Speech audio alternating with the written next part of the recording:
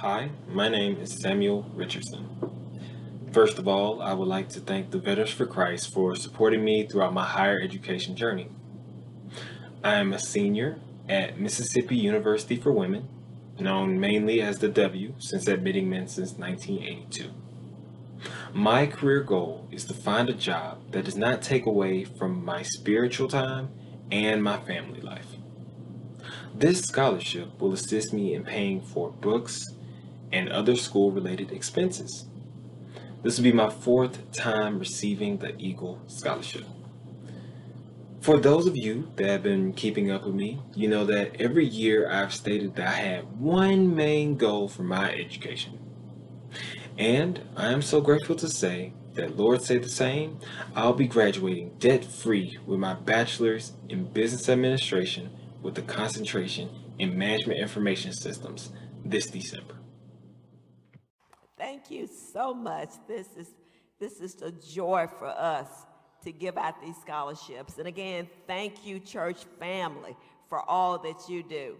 And we just have one other person that's going to step forward for a second.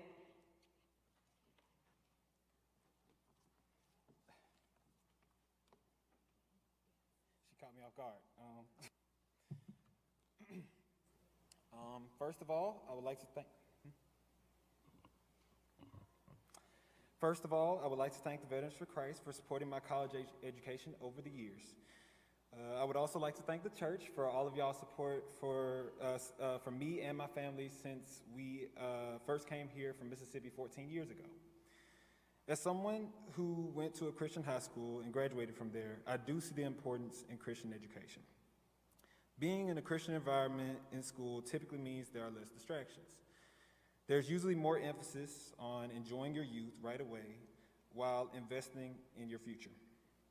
This is where I began to learn that everything works together. While I was in high school, I took the opportunity to dual enroll in college courses. Once I graduated, I earned quite a few scholarships, but I decided to go to the local college because of its location, my, familiar, my familiarity with the college, and its affordability.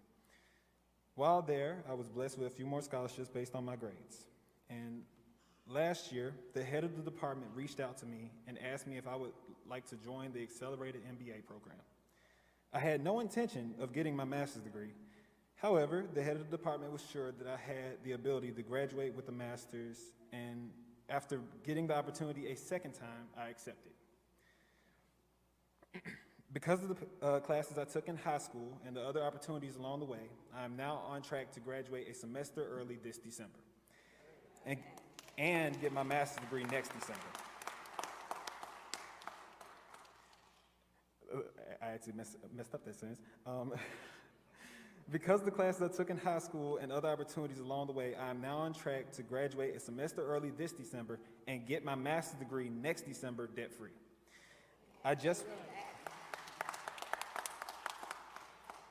I just want to encourage other young people that what you do today can affect you tomorrow, so the effort you put in and the grades you make do matter.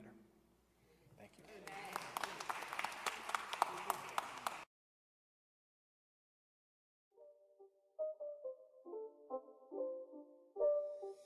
It's not a game,